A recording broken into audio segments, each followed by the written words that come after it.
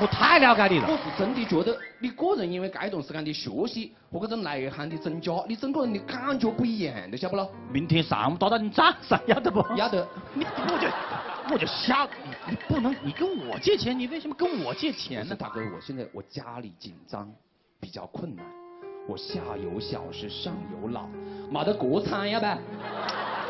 大哥，你借点钱给我，我好周转一下。你等于是上有老，对，下有小，对，当兄弟的啊，啊，帮你分担一半。爸爸妈妈你自己照顾，啊，女儿你可以过继给我，我帮你，我帮你。我也没得到好大的喽。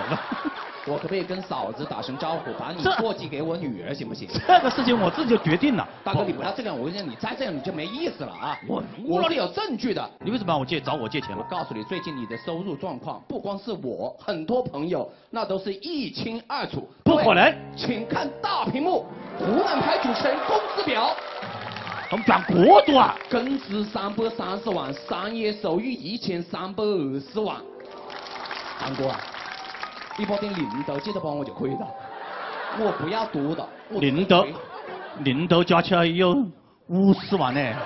哦，零头是吧？你一千多万，你看得上过五十万啊？不，这个这这个这个都是虚构的，网上的东西不要相信啊！各位，我们今天请到的嘉宾呢，我跟大家做一个简单的。各式各样。大哥关心的问题你把它讲清楚，大家想不想知道汪涵的实际收入，他的工资有多高？三十二岁以下，一个小妙招教你轻松长高。微信四四七幺二六四三零，微信四四七幺二六四三零。说实话啊，我们的工资很低，低到低。等一下，大哥，你是这么说的话，我还算低？那我们的工资等于是在底下的。底下的半个呢，不，网上的都是一个猜测。你们也知道我们是拿年薪的，拿年薪。啊！我今天啊，啊，因为我们越测越开心的观众啊，啊，不是别人，我摸着自己的良心啊，以他女儿的未来起誓，好不好？你等一下啊！我幸亏嘛把我女过继给你，我是放这条心了。对，我在湖南经视啊。是拿年薪的，是，一年，我们现在工作了已经有十七八年了，十七八年，年薪三十万，摸着良心啊。税后三百三十万，这个，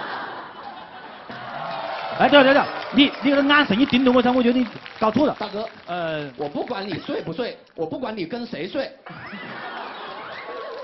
三百三十万，我屋里来了两百块钱的奶粉，他可以吃两辈子。没。